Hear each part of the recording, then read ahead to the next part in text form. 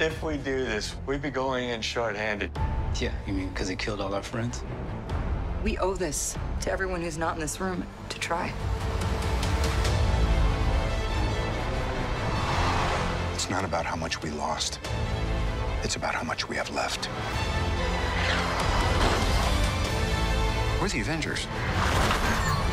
We gotta finish this. You trust me? I do.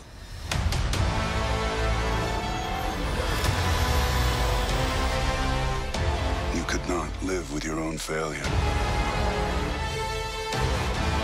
Where did that bring you? Back to me.